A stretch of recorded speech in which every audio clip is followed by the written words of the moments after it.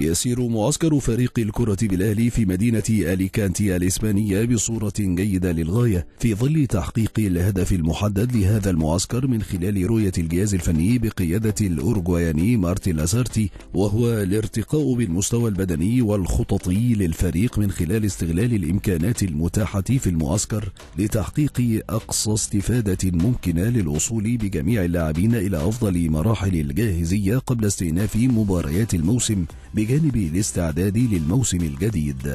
المعسكر يسير كما خطط له الجهاز الفني في مراحل الجدية والالتزام والتدريبات بالإضافة إلى نشر حالة من المرح والرفاهية على اللاعبين في بعض الأوقات لكسر حالة الملل التي قد يشعرون بها لتجديد الطاقة لديهم واستيعاب ما يخضعون له من حصص تدريبية مكثفة وذلك بعد عودتهم من راحة سلبية امتدت لما يقرب من أسبوعين.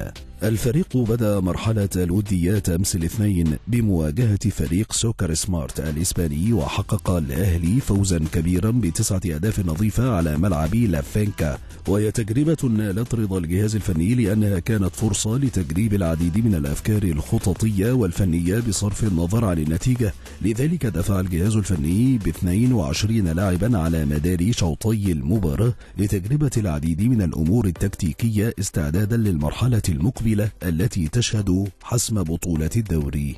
محمد يوسف المدرب العام للفريق أكد أن الجهاز الفني حريص على استغلال كل دقيقة خلال مدة المعسكر لتجهيز اللاعبين وفقا لبرنامج تدريبي محدد يشهد تكثيفا للجوانب البدنية للوصول بالفريق إلى أعلى معدلات اللياقة البدنية بعد فترة الراحة. بالإضافة إلى تجربة معظم اللاعبين للوقوف بدقة على العديد من الأمور الفنية واستكمال النواقص التي يحتاجها كل لاعب تمهيدا للوصول بالفريق مع نهاية فترة المعسكر إلى أفضل مستوى فني وبدني ممكن.